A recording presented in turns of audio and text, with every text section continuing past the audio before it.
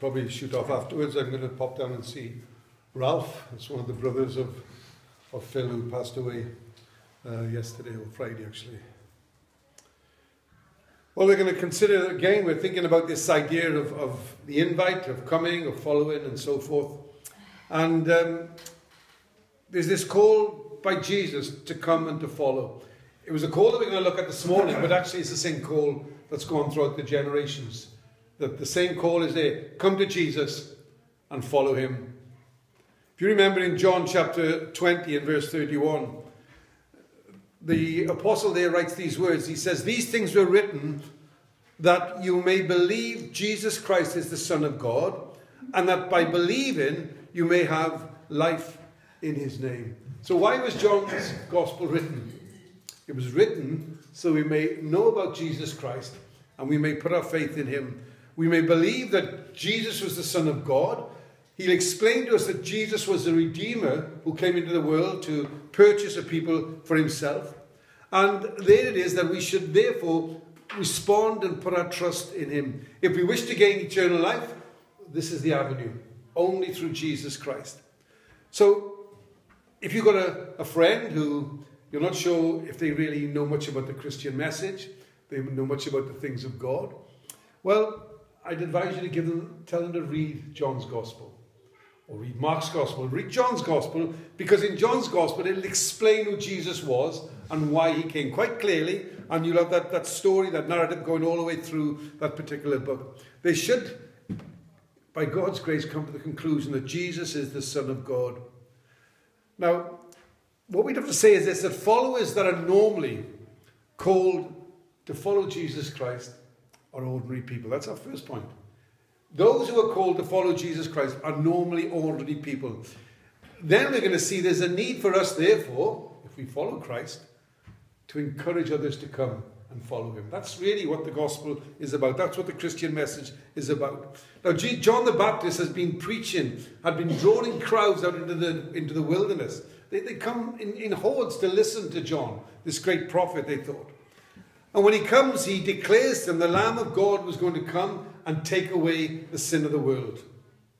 Now, the Jews were waiting for a king, they were waiting for the Messiah, but they actually got a lamb, didn't they? It wasn't really, they hadn't really got their head around the fact. Jesus, the Messiah, the Son of God, was to be the Lamb of God. So, this word that was going to be preached and this offer that's going to be made, it was going to be made to ordinary people. Not many wise, not many mighty, there aren't many noble who are called. Actually, God has called the foolish things, the foolish people, if you want, of this world to confound the mighty. So, what we say this morning is there's hope for all of us. Because there's not many mighty here this morning, there's not many great or noble here this morning. So, the majority of the group that followed Jesus were just ordinary people. In fact, most of them, the majority of the disciples, were actually fishermen. Ordinary, simple, working class folks. Jesus calls ordinary people to follow him. That's why we say we can encourage anyone to put their faith in Jesus Christ. If they're intelligent, if they're not, if they can read, if they can't write, if they whatever it is, if they put their faith in Jesus Christ, whether they're a native out in the jungle or whether they're the scholars in the university, we can say God calls all different types. But normally, it's ordinary people. So we have the first group here in this opening section of John's Gospel of those that were called to follow Jesus. The first five, if you want, which will include John, who doesn't mention himself, but he never mentions himself at all when he writes the Gospel. But John is there, he's recording these events. He was actually there in, the, in the vicinity. So we're thinking about the first five that, that, were, that were there. John is not the John the Baptist we just mentioned. John is the Apostle John. And he's recording these, these events, never refers to himself. So we're going to think about those, those first um, four that were called. There was Andrew, there was Peter, there'll be Philip, there'll be Nathaniel or Bartholomew. Now, when you read the opening chapter of chapter 1 in John's Gospel, there, what you'll find is it's, it actually goes through a sequence of days. So the first day, we find that John the Baptist is speaking about the need, the Messiah is coming, he's coming, he's preparing the way for the Messiah to come. The next day, we find that John the Baptist says Jesus is the Son of God. But he's also the Lamb of God who's coming now, look, and he's come to take away the sin of the world. Then we get to day three, and what happens in day three from verse 35 on? We have the followers of John the Baptist, these men we've just mentioned, they were now to leave John and to follow Jesus. So we find that John the Baptist is declared the Lamb of God. He's actually declared twice. This is the Lamb of God who's come to take away the sin of the world. They've been waiting for the Messiah. So in verse 37 to verse 38 there, John the Baptist, he now knows his disciples, I to take my jacket off, it's a bit warm. His, his disciples are actually now going to become the disciples of the Lord Jesus Christ. That's what was going to happen. They were going to become the disciples of Jesus himself. One of the dangers in a church, one of the dangers, I think it's a major problem here, but one of the dangers in, in a church, especially a bigger church, is that we can follow a man. We can be actually, you know, captivated by a particular man. So some of the, the, the big ministries, I mean, in, in, days gone by, Dr. Martin, who everybody holds in high esteem, and, and was a, a great preacher of, of, of the last century. But actually, even some of the men, they, they, I, I, just sticks in my mind. I go into, a, into, into the study of a man who was well known, and there was a picture of Dr. Martin on his on his on his um, in his library. And, and there was a danger, wasn't there, that people can be caught up with a man and follow a man. In America, it's a major problem because they've got mega churches, and these men have such a high profile that they actually end up that people almost follow the man. And when something happens, which has happened recently, some of the great men have fallen and it's, it sends shockwaves through the church because people have been following a man. I don't want people to follow me. In fact, I'm at the end of my, my, my journey, aren't I? So I, I don't want people to follow me. What I want people to do is, is follow my Saviour. That's, that's what I want them to do. I don't want people here to say we want to be following Norman Gilbert. It's the Lord of glory that we want people to follow. So the disciples who were following John were now going to follow Jesus.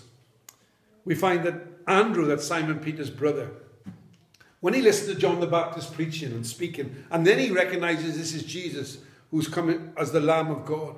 When the declaration is, is made, here we find this man decides now to follow Jesus. What John does, he's recording all these events. He's very precise in all the details that he, he writes down. And because we find in verse 39, he doesn't only tell us this is the, the, the third day, he tells us it was actually the 10th hour of that day. So he's writing all the details. John is there and he's able to record these in details. So in verse 38, as they follow Jesus, he turns around and he asks to, to Andrew, Who are you seeking? What do you want from me? He's saying. Now they followed John the Baptist, he followed his teaching, and they had now come to realize, or he had come to realize, that this was indeed the one who come, the Lamb, who was going to be the final sacrifice for sin. This was the Lamb of God who was promised to take away the sin of the world. Andrew had begun to understand that. John was there also at this time, I believe. And what he wanted to do, and we're going to sing about that shortly, he's going to know more about Jesus. There's many things we need to know regarding the Christian faith. There's many things about the Christian doctrine and teaching. But what we need to know, we need to know more and more about Jesus and we need to know more about him in our own lives and in our own experience. So he comes. He calls him rabbi. He, the word was an idea behind the, the word is the, the idea of a student speaking to a teacher. And so he calls him rabbi. He asks, Where are you staying in verse 38? Verse 39, Jesus says, Come and see. Come and have a look where I am. And John and him, they, they, they followed. They came near to where he lodged. So they went and they stayed with him. They stayed with him for some hours, listened to him, took note of what he had to say. They'd sought out Jesus. they'd found him, they followed him, and now they were sitting at his feet probably and listening to this great teacher. The wonderful thing we can say to people is this that if we seek Jesus, we will find him. There's no ambiguity. There's no, there's no possibility, maybe, maybe. If we are truly seeking Him in our hearts, we will find Jesus. We will come to know Him for ourselves. It's interesting, Jesus says, Well, come and see where I am. And then he talks to them, he speaks to them. It seems like he doesn't seek an immediate response from them. He'd spent these hours with them, with them. In the days to come, he was going to spend days with them.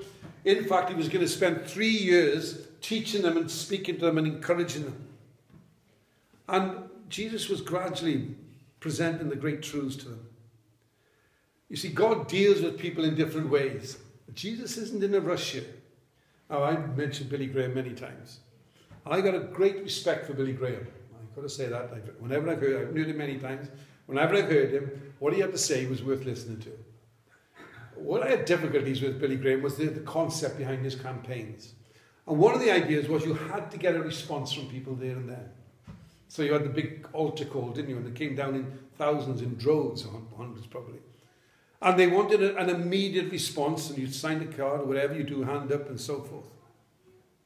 And yet God moves in people's lives in, in different ways.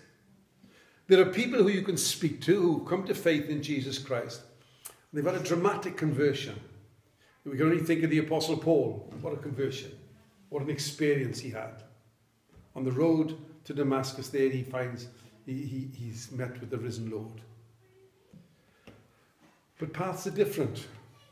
We come to Jesus in different ways, but the entrance is the same. There's many roads lead there, but actually the entrance is the, is the same. There's only one door, and that door is Jesus Christ himself. There's only one way to be accepted by God. That's by putting our faith in Jesus to deal with our sins once and for all. To understand, and this is what Jesus would have been explaining to them, to understand he was the Lamb of God who would make atonement once and for all for sin. And this is what these men came to realize. John the Baptist had prepared the way, he'd set forth the work of, of, of what Jesus was going to do. He spoke about the fact that he's come to take away the sin of the world. And having heard John speak for some time, he spoke about repentance, and repentance is a vital ingredient in the, in the gospel. Repentance simply means we don't go the way we used to go. There's a change takes place. We don't follow the same track that we always walk down. We've come to faith and we've turned around and we're going to follow Jesus and not the old way. So they'd heard about him, they were waiting for him, and now they were, they were following him. They'd understood that he came to take away their sin. So he declared Jesus. Jesus declared these truths to him, I should say, to them. And when we speak to people, we, we've got no idea how God will deal with them. God does deal with people in different day, or different ways. What we have to say is, today is the day of salvation. So that would have been Billy Graham's sort of driving motive, I would have thought, was if they don't respond today, they may not be here tomorrow. And you can understand that mindset. We also believe that God is sovereign and He's in control. But today is only ours. It's only ours today. We haven't got tomorrow. I listened the other morning, I was up early. I listened to the an interview to by by an interviewee who was talking to Sir Chris Hoy, the cyclist who, who won all the gold medals. He's been diagnosed at the age of I think is 47 with with stage four cancer. He had um, um, gallbladder cancer. It's gone into the bones. He knows that his time is limited. And if ever you looked at a man that looked fit, he was strong, powerful, the man knows his time is limited.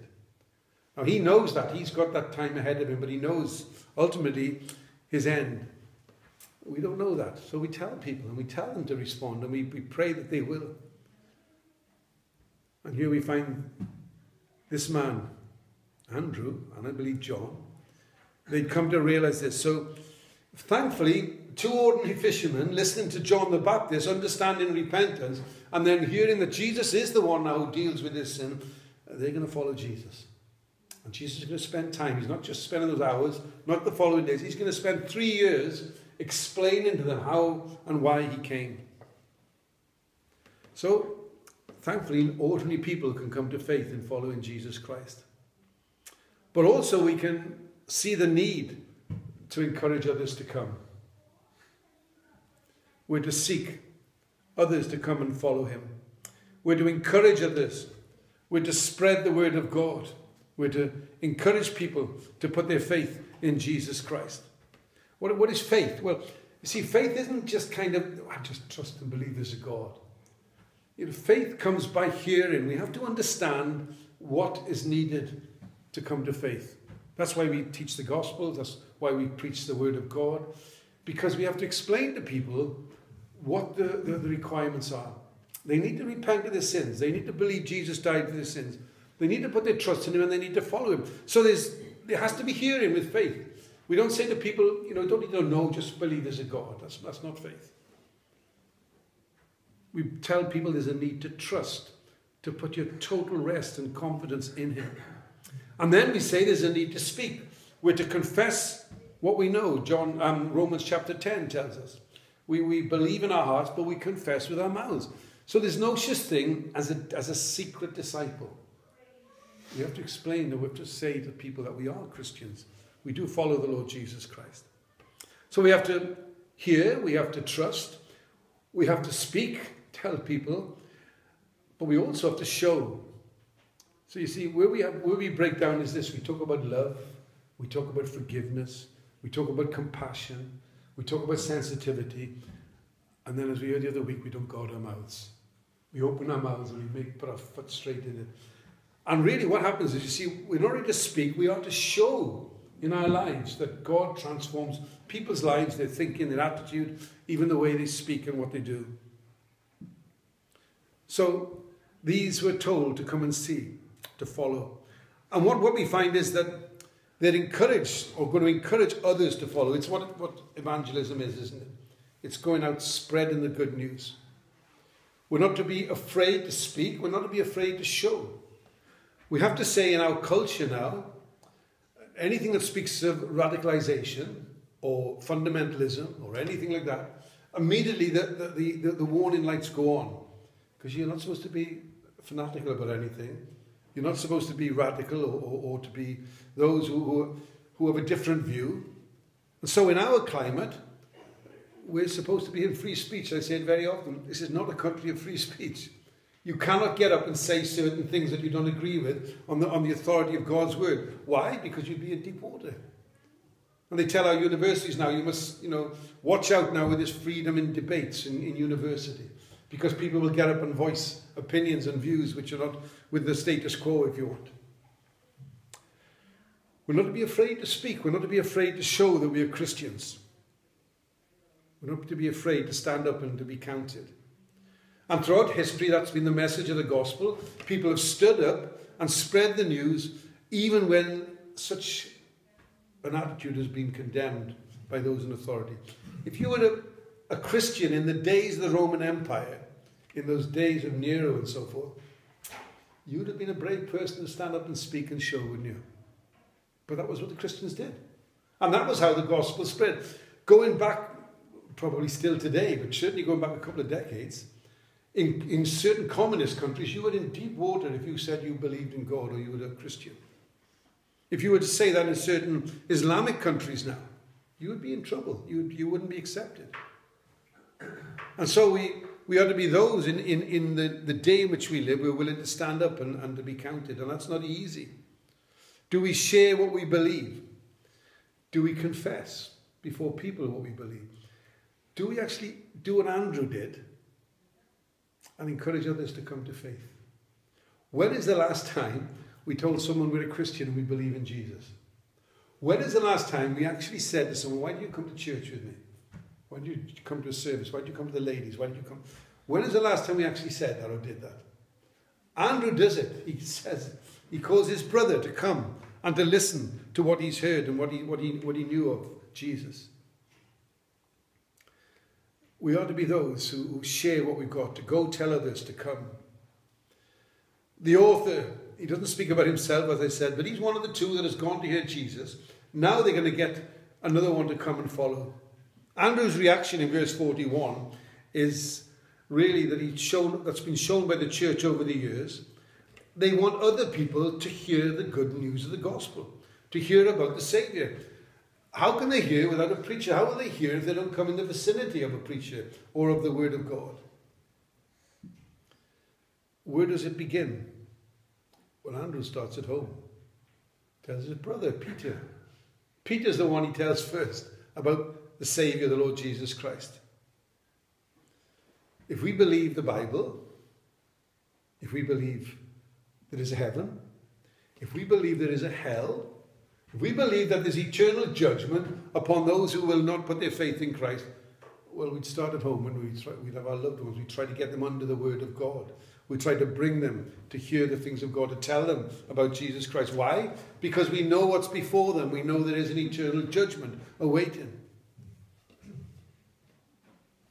So, charity begins at home. The witnessing of the gospel begins at home.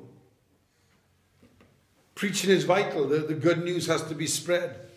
But often it begins with personal witness, with friendship, within a family, within colleagues in work. It starts by not only speaking, which we're very good at sometimes, and others can't do it very well, but sometimes it begins with just showing that we are those who follow Jesus. He was delighted to bring his brother along. Now, over my years in, in here, I, I can't say I've seen great things in 30 years here. One of the big encouragements I had in my early, well, years ago now, was when my mother died. My father started attending the church. He came here for, I don't know how many years. And father was a hard man in his time, believe me. But he came here, and he came here for many years, and I believe in the end he came to faith. Uh, that would be one of the big encouragements, it? We see our children coming to church, we see our grandchildren coming to church, at least coming under the sign of the gospel. That's what encourages our hearts, isn't it? To think that at least they're starting at home, we're getting some kind of response.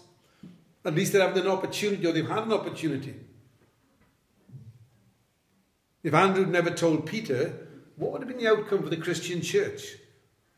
Because this man was going to become a leader in the early church. You read the first 12 chapters of Acts, who's the prominent one? It's Peter who's the one who's prominent. If he'd never have brought Andrew, Andrew never brought Peter, I should say, to Jesus, what would have been the outcome? We're thankful for those who encouraged us over the years.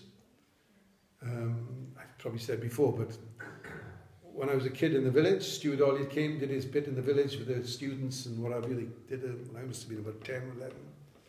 Years later, he sent me a letter, and I never had a letter in my life, from a minister in, in, in London. And he says to me, there's a couple of coming to the church down in the mission there. I think you should go along. They got a youth group starting. That was Mrs. P and, and her husband Owen. And see, encouraged by others to come along. In God's plan, there he's got an Andrew who pushes and says, look, get down to that little chapel down the road. And so, you see, God uses people God uses ministers, He uses missionaries, but He uses ordinary people. We're to share what great things the Messiah, the Savior, has done for us. He says, Come and see the Christ, the Messiah, the Savior, the Anointed One. They would have understood that. Peter understood what the anointed, the only ones anointed in the Old Testament, and Jews knew this, was the prophets, the priests, and the kings. This one was the anointed one, the Christ. He was prophet, priest, and king. Come and see. Come and hear him. This is the one that he encourages him to come. Andrew drags Simon along. It'd be nice if next week suddenly we turned up and you all dragged somebody with you, or I dragged somebody with me. That there was others coming along, wouldn't it? So he dragged, not dragged, but encouraged Peter to come. I remember Gaynor sitting in the back there, wasn't she? It must have been, I don't know how long she'd been coming, maybe 10 years, I can't remember. She'd been living in the village 20 years. I didn't even know her. And then she was up at Coshnosh or something. I remember sitting on the table with Gaynor and got talking to her and and she was saying about her background in Baptist circles and uh, and so we got to, I said, well, we're not a lot different down in that little chapel down the road there. And of course she started coming, didn't she? From a little conversation at the table up at Coshnosh, Gaynor's been coming for, for many years. So we never know, do we, who we're speaking to. We should never stop encouraging people to come or to listen to what we've got to say. Verse 42. So Jesus sees Simon coming to him now, and he called him Cephas or, and, and, or Peter and says, Here you are, Peter, Simon Peter, son of Jonah. Simon, how, how do you know my name? Because Jesus knows us through and through. He knows everything about us. Andrew's brought him to Jesus. Wasn't it amazing that woman at the well Jesus met? She wasn't, she's what we call a loose woman, I suppose. She'd had a number of men. People disregard her in society. Jesus goes and meets her. And when she comes to faith, I believe, in Christ, what happens? She goes back to the town and she tells the people. A woman goes and gets all these people to come and listen to Jesus. So whether you're a man, whether you're women, we've got a role. We're to call people, we're to encourage people, we're to tell people about Jesus. She did it. He's impressed with what Jesus says. He says, Peter, you're going to be called a stone. You're going to be, Ephesians 2, verse 20 tells us, one of the apostles upon whom the church will be built upon these foundations. He would build his church on the confession that Peter was going to make You are the Christ, the Son of the living God. What a change grace makes. What a change God makes within a, life. The potential that lied in this selfish, impulsive, aggressive man. Jesus changed it. And who knows what, what potential lies in those that we offer and encourage to come to faith in Jesus Christ. Who knows what they'll be, how they will be used. So day three, Andrew's taken Peter to, to, to see Jesus. Jesus knew who Peter was before he even came. He said, Son of John, I know who you are. Peter was going to be changed drastically. On day four, in verse 43, normally Jesus takes, or someone's taken to Jesus, encouraged, as I've said this morning. And God uses people, but God doesn't have to use people. He can actually just work in his own way. Because the next day, Jesus goes to Galilee. Andrew saw Jesus. Andrew brought Peter. Now Jesus goes, like the lady at the well, and he deals directly with Philip. Doesn't use any intermediary, just Philip. He goes to Philip. He calls him to follow him. He's like when he passes Matthew at the tax collector's table, he says, Come and follow me. What does Matthew do? He sits down and to great no, he doesn't. He puts down his stuff and he's up and he's away. Because Jesus had directly called him.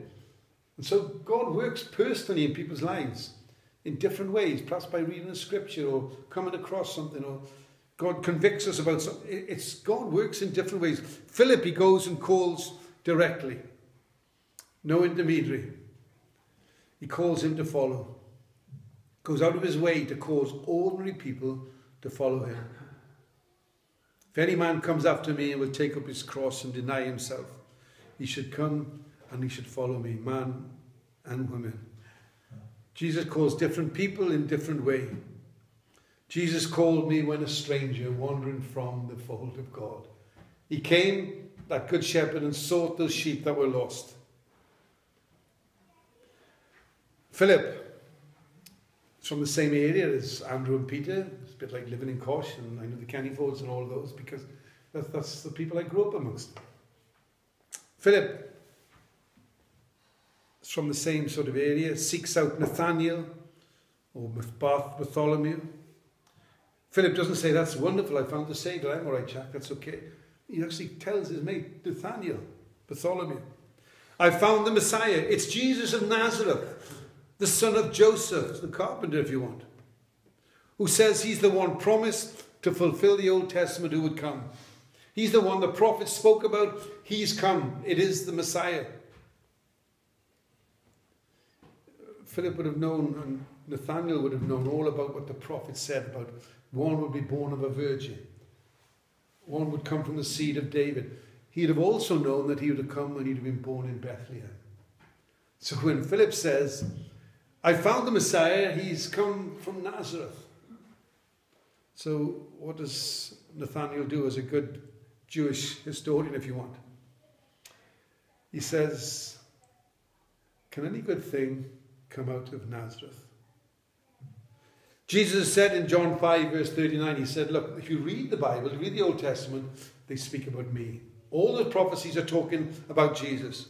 Nathaniel's got a prejudice against those who live in, in Nazareth. Actually, uh, joke in the school, joke in, in, with the teachers sometimes. They actually call Cosh now Posh Cosh. That's what it's called. So if you come, if you live in Cosh, Kylie, we're Posh Cosh. So that's what they say. That wasn't the case years ago. In years gone by, we were not known as Posh Cosh. There were some poor families in Cosh, and self-included, as I said the other day. We were, there were a number of us very poor, and perhaps we'd say a bit rough and ready, and what have you. Well, it's changed drastically. If you'd have said before you came from Cosh, they could have named a number of families. Oh, I know so-and-so in Cosh. Today they'd say, oh, you come from Cosh. Yeah, it's quite a posh place, Cosh. That, now they'd say about, I actually remember now saying when I was in assembly, I don't know how I said it, I probably put my foot in it. But I remember saying something like, um, um, you know, I was explaining to myself, it's like, well, you know, Monkton, you know what Monkton's like. And I said that. Two of the LSAs come up to me afterwards and said, uh, we were born in Monkton, Monkton, we're from Monkton. You can take the woman out of Monkton, they said, but you won't take Monkton out of the woman. So I was, they were, did it joking about it, thankfully. But can any good thing come out of Nazareth? What he didn't understand was that actually Jesus didn't come from Nazareth. That he, he grew up in Nazareth, but he actually was born in Bethlehem. So, despite his prejudice, and we can be prejudiced against so many people and situation, Jesus knows us through and through. And when Jesus looks at this man, Nathaniel, Bartholomew, whatever you want to call him, he's already made this sort of assessment this man cannot be the Son of God because the Son of God was supposed to be born in Bethlehem. He's come from Nazareth, from Corsham, Monkton, we call it. How can he? But you see, Jesus walks in verse 47 towards him, and as he approaches, he says, Look, now there's a true Jew. What he was doing, he was speaking about Romans chapter 2. And he was saying what Paul was saying. Who's a true Jew? He says, A true Jew is not one who's one outwardly, the true Jew is one who's inwardly come to faith in God. It's not about a nation, it's not about a family pedigree, it's about now if we are sons and daughters of Abraham's faith, if you want. True believers. He says, This man's a true Jew. There's no deceit, there's no hypocrisy, no outward just show of being a believer like many Jews were he knew who this was. This was the Son of God, and he sees us right through to our hearts. So I can kid you all here, and there's I mentioned the week there's many men at the front have obviously lived double lives. But actually, God knows my heart, and He knows your heart. He knows if we're genuine, if we're a true Jew, true Israelite or not. He could say, Here's a true saint if you want. Here's a true seeker, a true man of God. Nathaniel says, How do you know? Verse 8 to 48. I knew you even when you were under the fig tree. I saw you even before we came into contact with each other. I am the sovereign, elected, almighty God who knows his people through and through. And I knew where you were, and I knew I was going to see you. I'm the one who's omniscient, who knows everything there is to know. Before I even set physical eyes on you, I knew who you were. Verse 49 No doubt him. Now, can any good thing come out of Nazareth? Can any good thing come out of Colchester? Well, there have been those good things have come out of Colchester. Verse 49 Teacher, I realize you are the one who we long for. You're the promised Saviour. You're the King of Kings. You are the Son of God, as he claimed one, chapter 1, verse 14 there. Seeing the testimony and witnessing. See it working as John speaks of how Andrew brings Peter and how Philip takes, tells uh, Nathaniel. So Jesus Christ responds You acknowledge who I am. You believe in me now because of what I've told you. This is just the beginning. You're going to see great things. Nathaniel knew with the Old Testament in verse 51 there. And Jesus refers to the Jews, and he can refer back to the likes of Esau and the likes of Jacob and he can refer back to how Jacob saw the angels going up and down on that ladder, on that, on that vision that deceiver had. He saw something of the glory of God coming to earth. Nathaniel, you're going to see great things in the years ahead. You're going to see some supernatural things taking place. Because the Son of God has come from his throne in glory and He's come down to you. I did a thing with the kids oh, a couple of years ago in school. I do these little PowerPoints. Derek Redmond, I think I've mentioned before. Derek Redmond was a 400 meter runner. He was in the in the Olympic semi-final. And he's in the semi-final, and he's coming around, and his hamstring went. Have you ever your hamstring's gone? I never knew what a hamstring was when I was playing. I used to think, what's this ping in the back of my, my leg? And, but the, the, if your hamstring goes, you, you can't do anything. He's running down the home straight, and his hamstring goes. Ping is gone. So it's, it's the semi-final of, of the Olympics the people come over, he wants to get to the line, so he hobbles on. People come alongside him, they try, he's pushing them all away and he wants to finish the race. And then this bloke jumps out of the stand. He comes down onto the track, he puts his arm around him, and he carries him more or less all the way to the line. It was his father. His father jumped out, got hold of him, and carried him through. He'd left the stand to come and to bring his son home past the finishing line. And what a wonderful illustration what Jesus Christ has done He's left the glory, he's left the stands. He's come into this world to bring us safely home. If we seek him, we'll find him. If we found him, we need to follow him. If we follow him, we need to get others alongside to follow him. How will we hear? How will they hear without a preacher? Who else can we follow? Who else are we going to turn to? Well, Jesus says, or they say to Jesus, Peter says to Jesus in John chapter 6 and verse 68 and 69. Jesus says to them, Do you also want to go away? Now, this is Simon Peter answered and said, Lord, to whom shall we go? You have the words of eternal life. Also, we have come to believe and know that you are the Christ, the Son of the living God. Jesus answered, Did I not choose you and the twelve? Did I not know who you were? And I put my hand upon you. Where else can we go? Where else are you going to find meaning? Your, your heart goes out to that, that, um, that cyclist Hoy. We think, well, what do you hang on to in the last months of your life if you've got no eternal hope? There is one who's come from the stands and wants to bring us past the finishing line. We ought to be those who are called to follow him, to come and follow him. Thankfully, we're all different here this morning. We've got different backgrounds, different intellect. Actually, he calls ordinary people normally. But we also need to encourage others to come and to join with us. Let's close and sing our final hymn. And our final hymn is More about Jesus, what I know, and more of his grace to others show more of his saving fullness see, and more of his love, who died for me.